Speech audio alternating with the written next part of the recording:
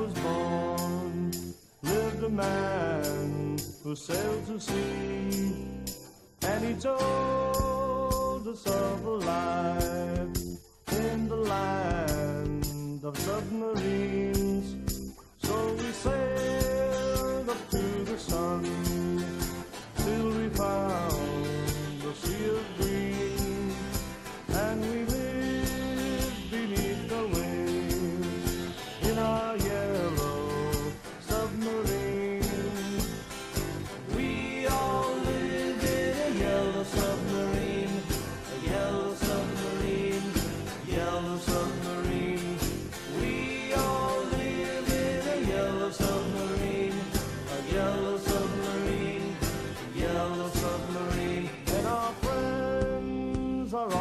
All.